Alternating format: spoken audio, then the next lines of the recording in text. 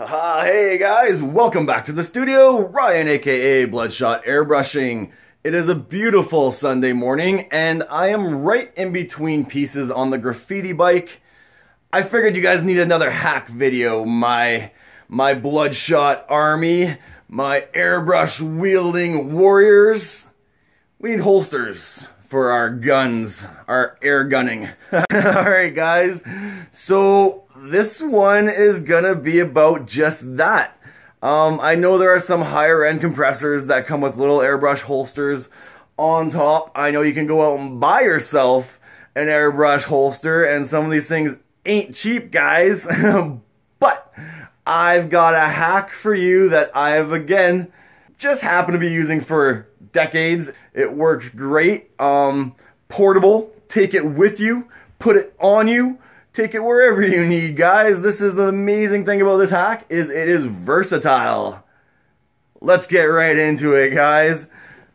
Check it out. Alright guys, so today's hack is sponsored by the Common Paperclip. Now when I say paperclip, I am not referring to these little dudes. And I'm not referring to these strange dudes. And I'm not even referring to these crazy magnetic dudes. That must have been the plate in the skull there. I am referring to... Those are safety pins. These guys. And if you don't know what I'm shaking in front of you guys, the versatile, the handy, the stackable, the giant paper clips.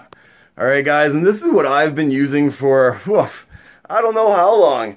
I do store my airbrushes on the compressor, but if you look to the uh, corner there, you'll see something hanging on the edge. If you kind of look right behind me, you may see another one. This is where I put them. Handy, accessible, these holsters are great, but they're they're tight. They're actually made for the airbrush. It's not always the easiest to access.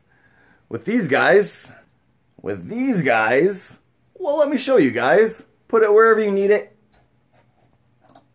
Grab your, and, and you only need one, guys, so you can get rid of that bottom dude.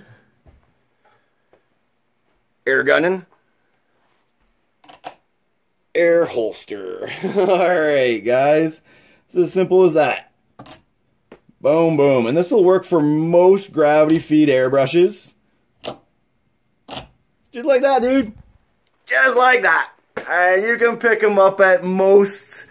Uh, I don't want to start saying brand names because I know you guys are all over the country, all over the globe. Most office supply stores will have this readily available. Buy them in the pack load put them wherever you want, clip them to your hair, clip them to your jeans, clip them to your bench, clip them to your other airbrush. Alright guys, this is for you. Cheap and effective airbrushing hacks number four. Alright, number three guys. Number four is coming on down the line. Stay tuned. I've got more. I'm a stingy bugger. I've been saving money for decades, guys. You're gonna save too. As always, guys, check out the other videos and like, follow, subscribe. Thanks for coming along for the ride. Cheers. Alright guys, and be sure to check me out on my other accounts, guys. I'm on Facebook under Bloodshot Airbrushing and Instagram under the same handle, guys. Check me out for periodical photo updates, and you can see a little bit of who I am and what I do. Alright people, Thanks again. Cheers.